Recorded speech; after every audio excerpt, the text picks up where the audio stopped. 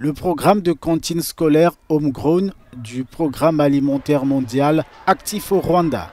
Mis en œuvre dans cet district, il fournit des repas nutritifs aux enfants tout en favorisant leur éducation, leur santé et leur hygiène.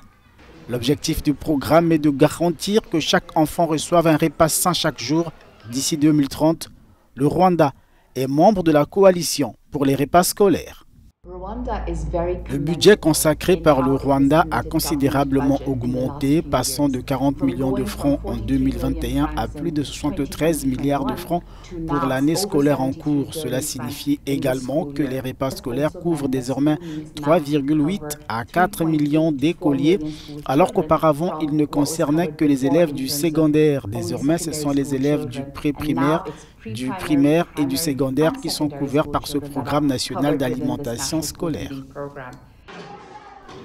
Le Rwanda a baissé les contributions parentales et mis en place des réductions fiscales sur le riz et le maïs afin de proposer des repas scolaires à moindre coût et d'encourager l'ajout de sources de protéines animales au menu.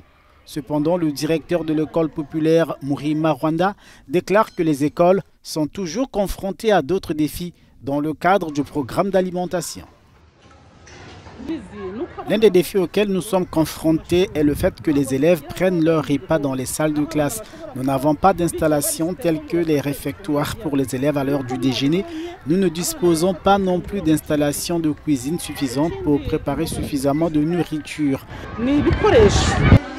La contribution des parents d'élèves n'est que de 11% du financement global de l'alimentation scolaire par trimestre, le reste étant à la charge du gouvernement.